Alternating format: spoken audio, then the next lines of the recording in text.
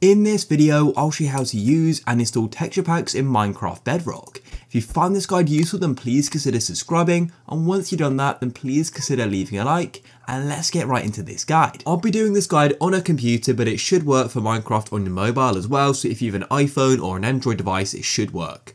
So the first thing we need to do is close off Minecraft just like so.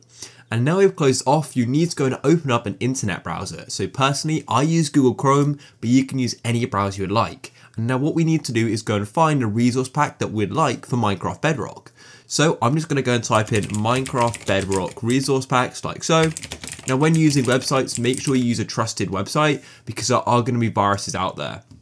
So a website I like to use is called resourcepack.net or Planet Minecraft. These are pretty reputable websites. So let's go and find one. I think I might go and get this one here called Pelusius. So I'm going to go and tap on it like this and then go and scroll down like so and see you go and see the option for download. So let's just keep scrolling down. So as you can see here, we've got Bedrock Edition and Java Edition. So in this case, we want Bedrock. So I'm going to go and click there. And as you can see, it then goes and downloads.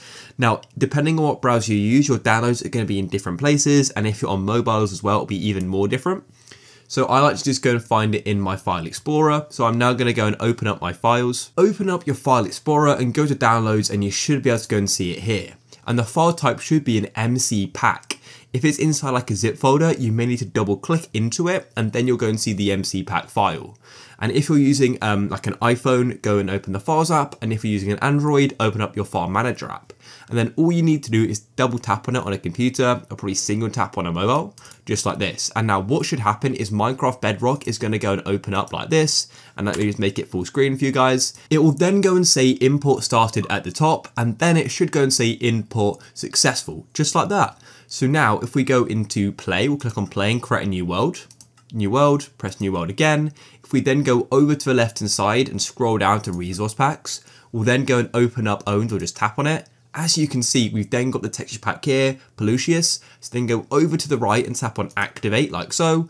And now it's going to be inactive and we'll now go and create this world. Let me just make it into creative and that texture pack will then be being used. So here we are, I've just gone and loaded the world and here we are with this awesome texture pack. Of course, there are so many other texture packs out there that we can go and check out as well. If you want to go and disable a texture pack, pause the game by pressing escape and go and tap on save and quit and then go over to the right under worlds and click on sort of the edit icon and then you can scroll down to where it says resource packs you can tap on the active ones because you made it active. And then what you can do is just click on it like this and then go and tap deactivate like so. And there we go. The next time you're going to launch the world, it will then just be using the normal texture pack.